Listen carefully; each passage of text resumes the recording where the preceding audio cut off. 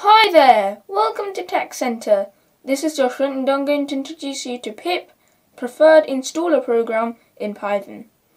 Before we jump into the video, please subscribe and click the notification bell to receive future videos from our channel. If you haven't already watched my previous Python programming tutorial video about user input, I've put a link in the description box below so you can watch the video. Now I'm going to introduce you to pip in Python programming language. Pip is the standard package management system used to install and manage packages written in Python. For example, you could install the module Pygame. You could also uninstall a module. Pygame will come in handy when we start coding games. You do not need to install pip because it came with Python during the Python installation process. You may remember me telling you to check those two checkboxes in the installation window. If you did not check those two checkboxes, I will show you how to install pip later. Once in a while you will have to upgrade pip, otherwise when installing a package or something like that, not everything will be installed. The commands of pip are not used in Python. They are used in command prompt, or CMD.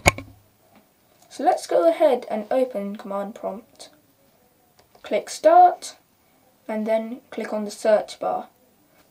Type in command prompt or CMD. Then click on the application. Let's maximize command prompt and let's make it bigger so we can see better. Let's imagine that someone didn't check those two checkboxes.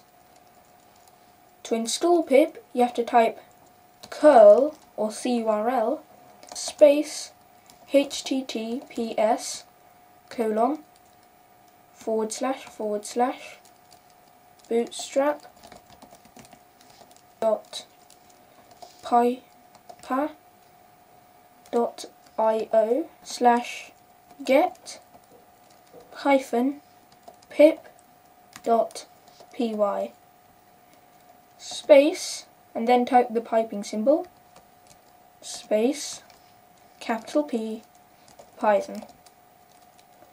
The piping symbol is on the same key as the backslash key. To type that, type shift backslash. Let's press enter. Okay. This might take a while. As you can see, it's already found an existing installation because I already installed it. But then it uninstalled it. It's successfully uninstalled. Now it's going to install it again. Okay, here you can see that that pip has successfully installed. Now we're going to check what version of pip we have. Of course we can see it right here, but imagine that you didn't type this command in. You would have to type pip space hyphen hyphen version and then press enter. Here you can see that we are using pip 20.1.1. Next we're going to upgrade pip. To type that, type python space minus m space pip space install space hyphen hyphen upgrade space pip and then press enter. For me it is already up to date but if it's not it will take quite a long time. Now let's update its setup tools and wheels. The command we are going to type right now is also going to upgrade pip. So this is the best command to use if you want to upgrade all of them. Python minus m pip install hyphen hyphen upgrade pip setup tools and wheel. Then press enter. For me, everything's up to date. but it will take some time if it is not. To finish off, I'm going to show you how to install Pygame and how to uninstall it afterwards. So, to uninstall it, type pip space install space Pygame. Don't use any capital letters. Press enter. Here you can see that Pygame is installing. Successfully installed Pygame 1.9.6. Right now, Pygame is not necessary, so let's uninstall it.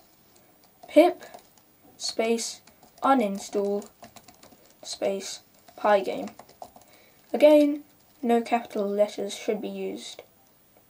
Enter. Here, it will ask you to proceed. Type in Y and press enter. Here you see that Pygame 1.9.6 has been successfully uninstalled. Let's close command prompt. In my future videos, I'll be posting tutorials to make games, clocks, etc. I hope that this video is helpful for you.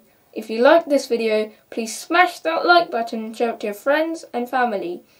If you haven't already subscribed to my channel, please click that red subscribe button below.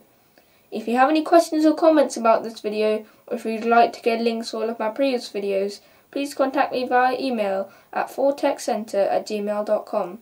I've put a link in the description box below. See you in the next video!